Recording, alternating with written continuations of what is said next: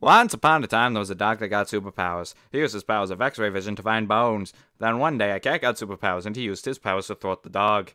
Then the super dog and the super cat had an ultimate battle of ultimate destiny. And then the mice took over using cheese and mutant rat powers. The end.